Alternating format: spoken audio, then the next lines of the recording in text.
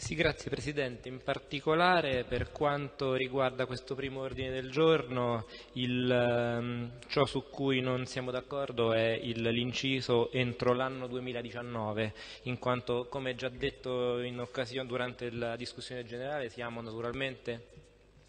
pienamente da, siamo d'accordo con noi stessi, nel senso che noi da sempre diciamo che dobbiamo pubblicare i bandi, quindi sì, ovviamente siamo d'accordo, però lo faremo nel momento in cui eh, si sarà eh, trovato l'accordo per andare prima a realizzare il, in, gli interventi di cui abbiamo parlato in precedenza e, e quindi in questo caso ci asterremo. Tra l'altro, visto che è stato citato il bando, appunto, il bando sulla Maratona di Roma, che è stato fatto dall'attuale amministrazione per la prima volta in 25 anni, la maratona è stata assegnata tramite un bando pubblico. Il risultato di questo bando è stato che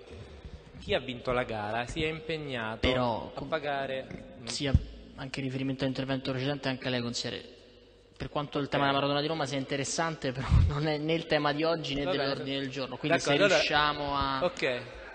comunque concludo sì, dicendo che l'amministrazione per la prima volta nella storia da questo evento incasserà 500.000 euro l'anno, non era mai successo, quindi siamo orgogliosi di, di aver messo a bando questo grande evento e ci asteniamo sull'ordine del giorno in esame. Grazie.